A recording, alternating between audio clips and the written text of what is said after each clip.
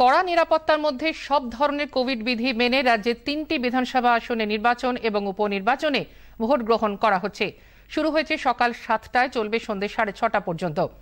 বেলা একটা পর্যন্ত ভোট পড়েছে পঁয়ত্রিশ দশমিক নয় সাত শতাংশ। কলকাতার ভবানীপুর কেন্দ্রে উপনির্বাচনে মোট বারো জন প্রার্থী প্রতিদ্বন্দ্বিতা করছেন। কিছু বিক্ষিপ্ত ঘটনা ছাড়া ভোট পর্ব মোটামুটি শান্তিপূর্ণ। বিজেপি প্রার্থী প্রিয়াঙ্কা টিব্রেওয়াল মিত্র ইনস্টিটিউশনে ভোট গ্রহণ কেন্দ্র ঘুরে দেখেন।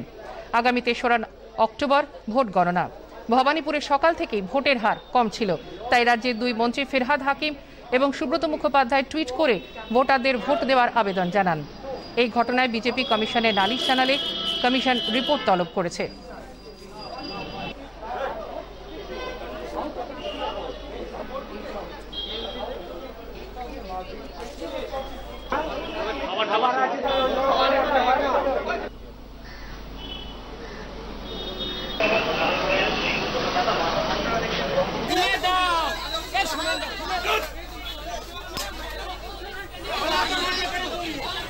কে কে